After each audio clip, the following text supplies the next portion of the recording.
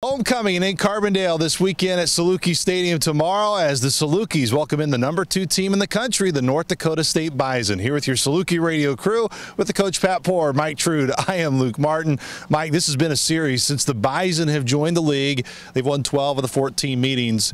And you look at this team this year, it arguably may be their best offense that they have had. Cam Miller, most rushing touchdowns in the history of the Valley in terms of quarterback play. He also hasn't thrown an interception in 12 games.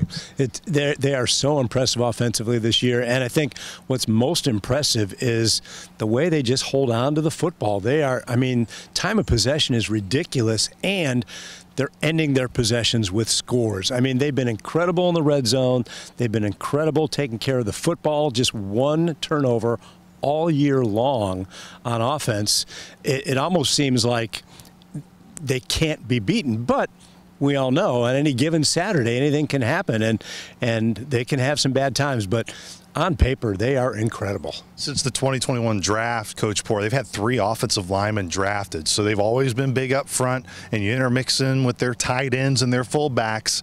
It may not be A gap power constantly 90% of the time like it was under Craig Bohl when he started, but they're still very effective. And as Mike said, they possess the football. That's the biggest kind of change, so to speak, that you see with Polasek is they are much more of a true zone team, but it's there. It's still in that package because for years it's they would close games out like basically eat the whole second half up running tight A gap power and and the and the scary thing about that is they're so good at that that however you try and counter it with getting more people to the box and then they'll you know they'll run one of those big fullbacks right by you, you know, down the chute, and that's that's the tough part schematically about stopping them is you have to beat them, and I think the biggest thing is you got to win at the point of attack and make them go to play play B, you know, and something that can't. Well, they're stopping this. We got to go to this, and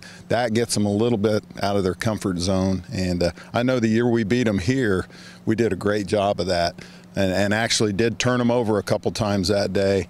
Raja Nelson has been out with injuries so far this year. He did make a return last week for the Bison. Braylon Henderson as well has missed some time, which that's opened the door for some receivers, Mike Trude. And who else than Trey Lance's brother, Bryce Lance? He's having a heck of a season so far. Yeah, you knew when you see the name Lance that there had to be some connection, and and uh, he's getting a lot of attention. He's he leads them in receptions, but Raja Nelson is a guy who just torched the Salukis a year ago at North Dakota State and just seemed to get open whenever he wanted wanted to. He seems to be getting healthy, and I look for him to be back in the lineup. Although he's not listed as you know one of their even in, in their two deep, which is kind of unusual. But I fear Raja Nelson, and you cannot forget the tight ends.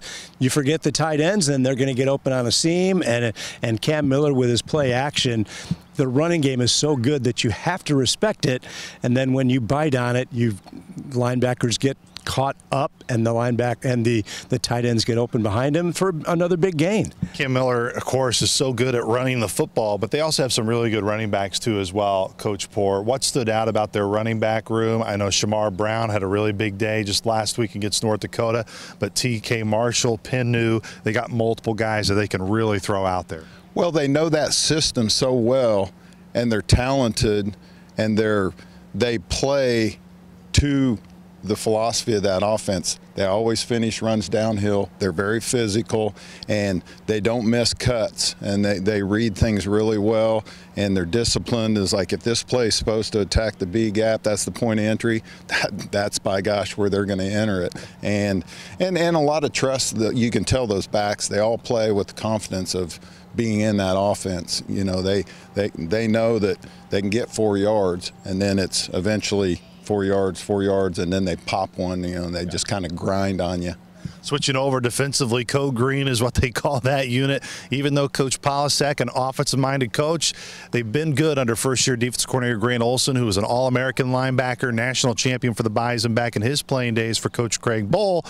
Eli Mostaert, that's really where it starts. Coach Hill loves his motor, and they've also been without a key defensive player in Cole Wisniewski, yeah. and Sam Young's done a great job in filling in really for his role. He has. I I, I kind of put Mostaert in a Ben Bogle type category in that the motor is just always going, yet he's on the defensive line with Dylan Hendricks. So for them, it starts on that line. You've got two of their guys that are just phenomenal at getting into gaps. They don't have a lot of sacks, just 10 for the year.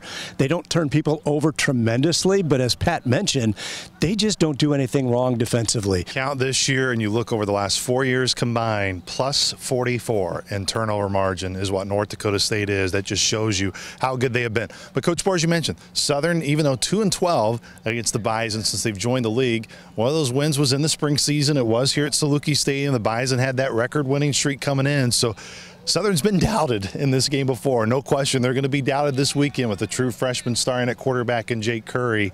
How do you block all of that noise out and just focus on your game plan and try to execute the way you can execute? You have to go into it with that mindset that it's going to be a 60 minute game. You're going to have to beat them, and you're going to have to do a great job of doing the things you need to do against them. And one of those things is on defense. You have to spike those zone schemes. You, have got to get some knockback. You got to get up the field and create some some bad reads for the backs. And then you got you got to just really trust your eye discipline in the back end because they're super good at hand the ball off, hand the ball off, hand the ball, and all of a sudden, whoop, there goes the tight end leaking down the middle. And and they they are a little bit more again under Polasek. They're a little bit more multiple you, know, they're in a little bit more spread, and the guys that you alluded to, you know, have kind of become weapons. So the blueprint it changed a little bit because you used to be able to just, hey, we stop the run and, you know, keep everything in front of us and not give them the explosives. That was a pretty good blueprint. And then, and then offensively, you just got to come out and, you know, execute and stay out of those bad. You know, you alluded to the turnovers. They put a lot of people in third and longs, and that creates a lot of those turnover down and distance situations that they're so good at. And you don't want to just make it this simplistic, Mike, but for the dogs to have success on Saturday, you feel they got to get off to a good start. Southern has the games they've trailed at halftime, they haven't won this year. The games they have led at halftime, they have won. It's not as simplistic as that, but getting off to a good start or oh, the homecoming crowd, trying to get that energy level high here at Saluki Stadium is going to be really important. Oh, I think it is. You, you don't want to get down 14 points to this team early in the ball game because again the way they can possess the ball Pat mentioned it they can literally eat up an entire quarter or go on an 8 or 9 minute drive which means you might get one or two possessions in that quarter. So Southern's going to have to be effective when they have the ball.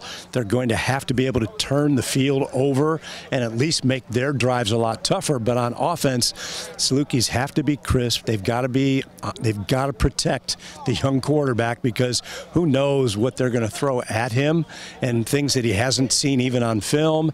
And it's going to be one of those days where things have to click really well for the Salukis and keep it a one or two possession game into that fourth quarter to give yourself a chance to have that ability. Well, if Southern gets their first Valley win on Saturday, it's going to be a memorable one against number two North Dakota State. We hope to see you here tomorrow for homecoming. Kickoff is at 2 o'clock. Our coverage begins on the Saluki Radio Network at 1 o'clock. For my part, partners, Pat Poor, Mike Trude. I am Luke Martin. We will see you tomorrow, Saluki Nation, here for homecoming against the Bison. Go Dogs.